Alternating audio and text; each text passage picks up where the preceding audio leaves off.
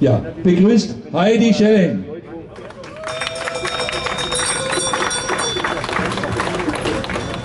Ja, ich begrüße euch. Ich begrüße besonders meine Kollegen Bauern und Bäuerinnen aus dem Landkreis, vom BDM, von der ABL und alle weiteren natürlich auch. Herzlich willkommen. Ich begrüße auch alle anderen Mitstreiter, denn nur wenn wir alle zusammenhalten, haben wir eine Chance gegen diese Freihandelsabkommen. Ich möchte heute erzählen, warum TTIP und warum große Freihandelszonen bäuerlicher Landwirtschaft schaden. Und damit meine ich die Landwirtschaft, die wir hier in Franken zum großen Teil noch sehen und haben, mit solchen Bauern, wie wir hier unten sehen, die einfach mal noch zwei Tiere mitbringen können aus ihrem Stall. Äh, diese bäuerliche Landwirtschaft ist aber existenzbedroht. Wenn man genauer hinschaut, wird sie immer weniger.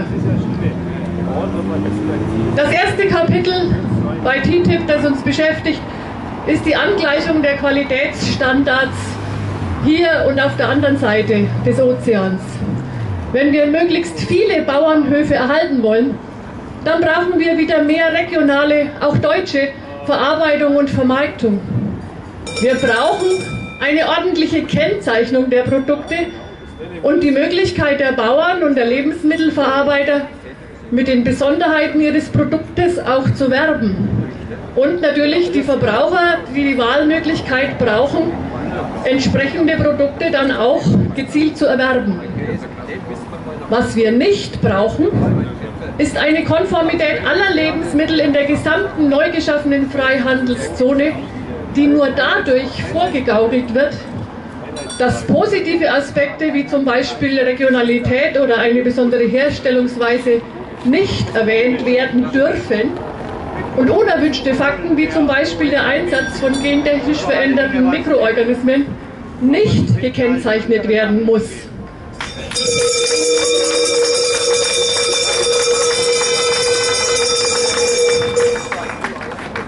Erst letzte Woche hat Foodwatch äh, bekannt gegeben, wie die EU-Kommission in vorauseilendem Gehorsam im Vorfeld der Freihandelsabkommen äh, eine bessere Herkunftskennzeichnung von Lebensmitteln mit der Begründung gestoppt hat.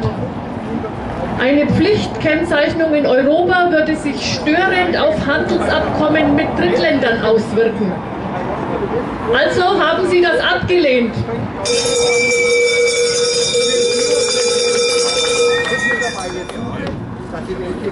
Nächstes Thema. Mittelständische Metzger- und Schlachtbetriebe prangern an, dass chemische Desinfektionsverfahren, zum Beispiel Chlor in Schlachtbetrieben, wie sie in den USA erlaubt sind, gar nicht nötig sind, wenn man sein Handwerk versteht und sauber arbeitet.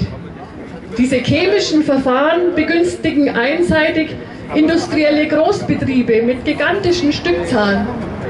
Die Folge ist, die kleinen handwerklichen und mittelständischen Betriebe werden über billige Preise gnadenlos aus dem Markt verdrängt.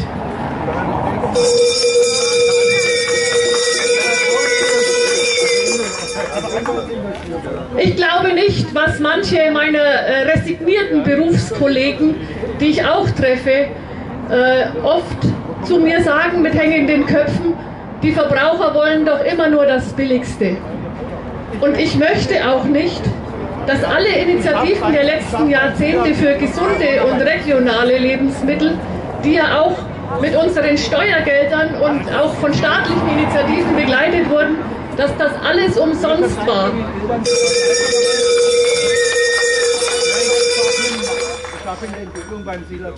Wir haben in den letzten Jahren viel davon gehört aus dem Weltagrarbericht, dass für eine Sicherung der Welternährung auch in der Zukunft eine kleine strukturierte äh, Landwirtschaft auf der ganzen Welt nötig und ausreichend ist.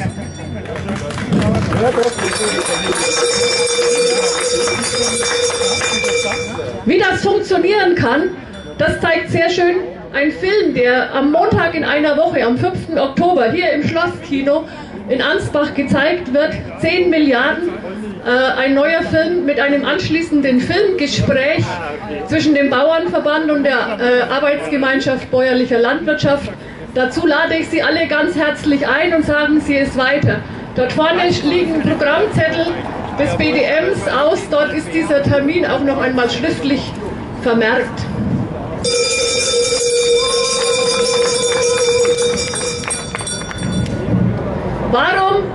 Schadet TTIP bäuerlichen, bäuerlicher Landwirtschaft? Es gibt ein Thema, das heißt regulatorische Kooperation. Mein Kollege im Kreisrat Uwe Schreiner wird Ihnen das nachher noch ausführlich erklären. Es verbirgt sich dahinter, dass Konzerne bei Gesetzgebungsprozessen mitreden dürfen. Uns erinnert das natürlich ganz stark an die Machenschaften der Firma Monsanto. Schon seit Jahren haben die das äh, gut begriffen, dieses Spiel, dass äh, führende Manager äh, nach Belieben in die FDA, die Gesundheitsbehörde der USA, wechseln und zurück und somit die Verordnungen und Regulatorien dort schon mitbestimmen. Ich weiß nicht, ob das in den USA schon legal und so immer eigentlich rechtens war. Aber das, was jetzt geplant ist für das neue Freihandelsabkommen, dort soll das rechtens und legal werden.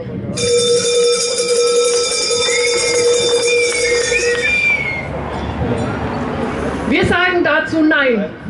Nein, weil es wieder Großkonzernen zusätzliche Macht verschafft. Und nein, weil damit ein elementarer Grundbaustein der Demokratie, nämlich die Gesetzgebung ausschließlich in der Hand gewählter Volksvertreter auf dem Altar der Wirtschaft geopfert wird.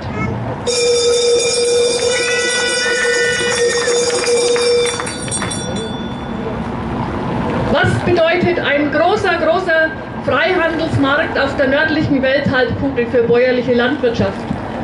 Werfen wir einen Blick auf das CETA-Abkommen, das schon fertig formuliert ist. Dort hat sich die EU die Hormonfreiheit bei Fleischimporten dadurch erkaufen müssen, dass sie einen enorm hohen Marktzugang im Sektor Fleisch zugestimmt hat. Bei Schweinefleisch soll das 16-fache der bisherigen zollfreien Menge, bei Rindfleisch das 12-fache der bisherigen zollfreien Menge zugelassen werden bei wesentlich geringeren Produktionskosten.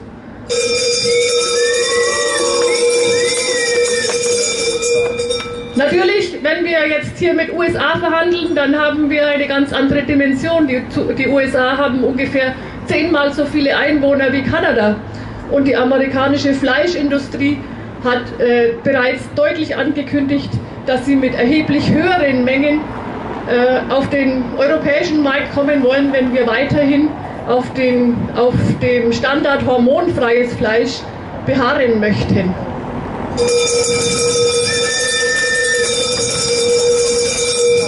Wie sieht es bei der Milch aus? Simulationen zu, zu dem kommenden Handel, der auf uns zukommen wird, gehen davon aus, dass die EU 2,4 Milliarden US-Dollar mehr, also Milch mehr im Wert von 2,4 Milliarden US-Dollar mehr exportieren wird nach USA. Umgekehrt wird die USA zu uns mehr exportieren, 5,7 Milliarden US-Dollar.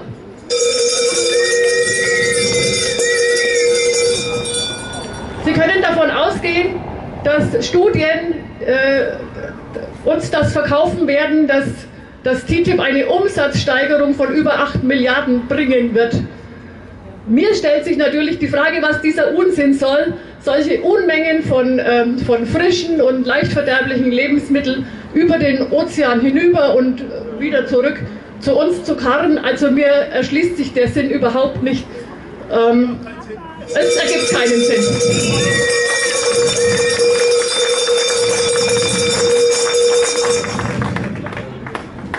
Über die Auswirkungen auf den Milchpreis in diesem Moment wollen wir äh, erstmal gar nicht reden. Ähm, interessant für mich war noch, die Lebensmittelkonzerne, die Verarbeiter und die Händler rechnen sich in diesen Simulationen und Szenarien natürlich äh, Umsatzsteigerungen und steigende Gewinne aus. Die landwirtschaftliche Wertschöpfung, also das, was bei den Bauern dann zum Schluss bleibt, wird sinken.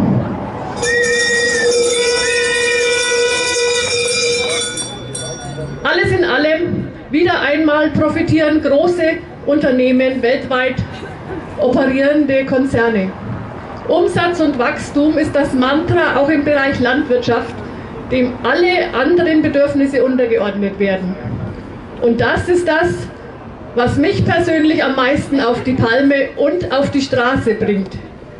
Ist das eigentlich die Aufgabe von uns Politikern, von unseren Regierungen in Berlin und Brüssel? Ist es ihre Aufgabe, Großkonzerne in ihrem Ziel Gewinnmaximierung nach Kräften oder über ihre Kräfte hinaus zu unterstützen?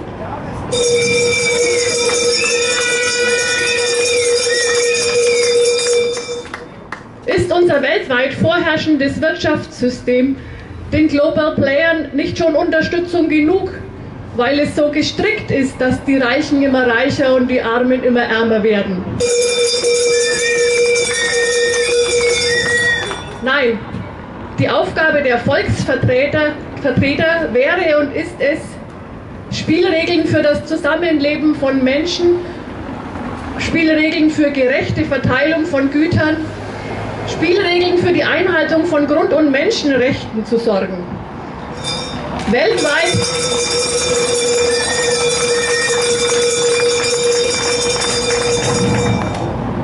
und weltweit haben wir die große Aufgabe, für die Erhaltung der Lebensgrundlagen für die Zukunft zu sorgen. Die Regierungen dieser Welt, und wenn sie es machen, dann eben, wenn sie es nicht machen, dann müssen wir alle zu Politikern auf der Straße werden.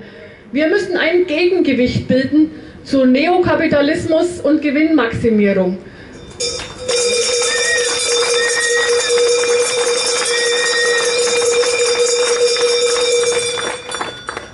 Wir können TTIP verhindern, wenn wir alle zusammenhalten und wenn wir nicht locker lassen. Das können wir übrigens von den Bauern lernen, die auch zurzeit wieder unermüdlich Zeit äh, und Schlepper und äh, Herz einsetzen, äh, um zu protestieren.